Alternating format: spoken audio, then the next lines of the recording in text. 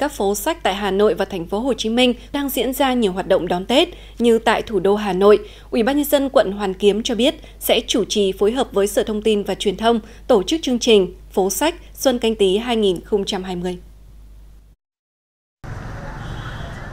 Phố sách Xuân canh tí 2020 sẽ khai mạc vào sáng ngày 27 tháng 1, tức ngày mùng 3 Tết và diễn ra đến hết ngày mùng 3 tháng 2, tức mùng 10 Tết với nhiều hoạt động đặc sắc mang đậm không khí Tết cổ truyền dân tộc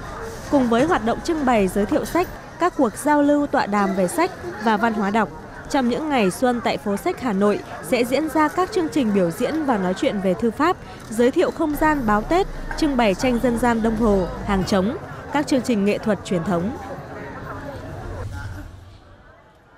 Sớm hơn Hà Nội, lễ hội đường sách Tết canh tí 2020 của thành phố Hồ Chí Minh đã được khai mạc từ ngày 28 Tết. Không gian lễ hội đường sách Tết trải rộng trên 3 tuyến đường Mạc Thị Bưởi, Nguyễn Huệ và Ngô Đức Kế, quận 1. Nổi bật nhất là đường sách Nguyễn Huệ có chủ đề Điều kỳ diệu từ sách, triển lãm tư liệu sách và hình ảnh kỷ niệm 90 năm ngày thành lập Đảng và các ngày lễ lớn trong năm 2020, những thành tựu phát triển của thành phố Hồ Chí Minh. Tại đây cũng triển lãm báo xuân, trưng bày về biển đảo. Lễ hội đường sách được tổ chức nhằm khuyến khích phát triển văn hóa đọc, tạo không gian giải trí, hoạt động văn hóa vui xuân cho người dân, du khách đến thành phố Hồ Chí Minh trong dịp Tết cổ truyền. Đường sách Tết canh tí mở cửa trong 7 ngày, từ ngày 28 tháng Chạp đến hết mùng 4 Tết.